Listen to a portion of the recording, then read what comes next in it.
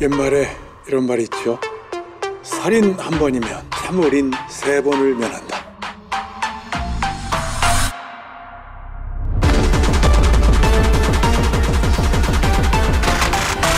오늘 여기 모인 우리들은 그 말을 대신 실천해주는 프로들입니다.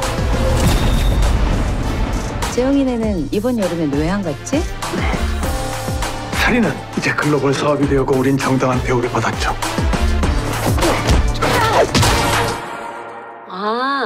그때 제가 출장이 좀 있었어요. 나 엄마 가방에서 총 본 적 있다. 나 이번 계약 끝나면 일 그만둘지도 몰라. 회사에 솔직히 얘기를 해요. 아니면 뭐 주의주의야. 문제를 해결하기 가장 쉬운 방법은 문제를 없애는 거잖아. 나 대표님한테 죽어요? 요이